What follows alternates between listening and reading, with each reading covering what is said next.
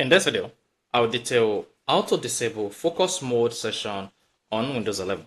So if you're using focus mode on your Windows computer, just to avoid distraction and you are done before time, then you can disable the focus mode. So here in this video, you'll learn the step to take to disable or turn off focus mode on your Windows 11 computer. So if you found this really helpful and informative at the end, please don't forget to like and subscribe. All you need to do to disable or turn off focus mode on your Windows 11 computer is click on the start button then select settings.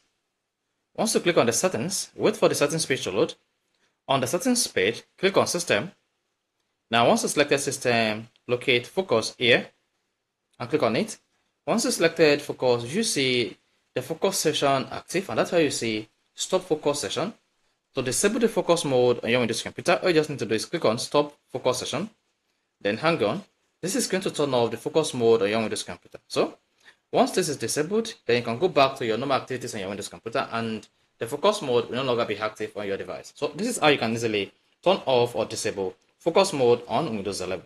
If you found this really helpful and informative, please don't forget to like and subscribe.